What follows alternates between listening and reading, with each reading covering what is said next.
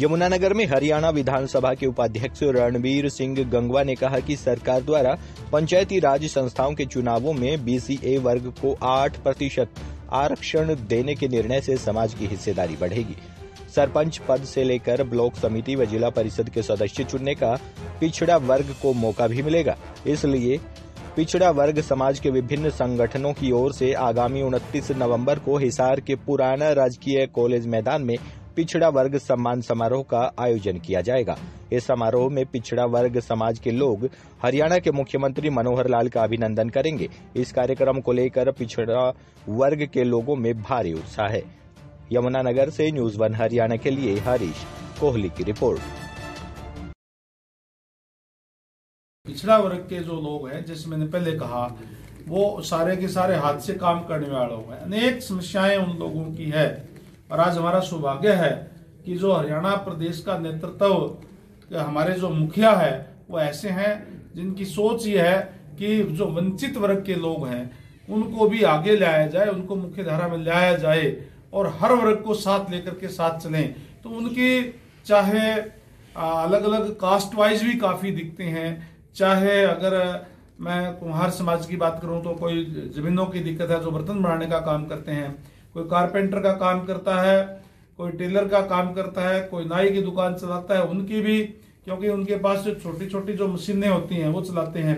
और उनको कॉमर्शियल जो है वो, उनके बिल ज़्यादा आते हैं, क्योंकि हाथ से काम करने वाले लोग हैं। इसलिए उनको दिक्कत और परेशानियाँ हैं। इसी तरीके से चाहे लोन के अंदर सरलीकरण की बात हो, ताकि वो लोग अपनी आजीविका चला सके। अनेक तरह की दिक्कत परेशानियाँ हैं। इसलिए जहाँ इस तरीके के सम्मेलन में जाने से लोगों से चर्चा होती है, उनकी दिक्कत और परेशानियों का पता चलता है और वो सरकार के सामने रख करके दूर करवाने का प्रयास आने वाले समय के अंदर भी हम करेंगे। आज के अंदर ये आरक्षण दिया है। मैं ये कहूँगा कि जो बैकवर्ड क्लास के लोग हैं बीसीए के लोग है, उनको एक राजनीतिक आरक्षण की शुरुआत करने का काम हमारी पार्टी ने, आदरणीय मनोहर लाल जी ने करने का काम किया। उसी के लिए आज हम इकट्ठे होकर के और माननीय मुख्यमंत्री महोदय का धन्यवाद कर रहे हैं। चुनाव है। केवल बात बात वोट बैंक की नहीं होती। सवाल ये होता है कि जिन लोगों की पचास सालों से मांग थी, आप अपने ज़िले के ऊपर का एक आंकलन करके बता दीजिए कि कितनी बीसीए के यहाँ सरपंच है, कितने जिला परिषद के मेंबर हैं, कितने पंचायतों के अंदर या ब्लॉक समिति के मेंबर हैं।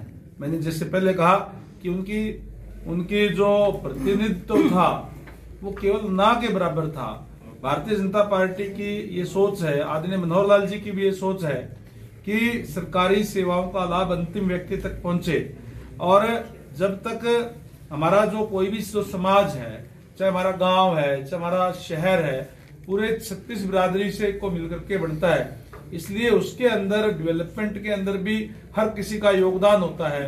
इसलिए जो संख्या के आधार पे या जो संगठित नहीं होते या फाइनेंशियल तौर पर मज़बूत नहीं होते तो उनको रिजर्वेशन के तहत उनको लेकर के उनको भी प्रतिनिधित्व दिया जाता है।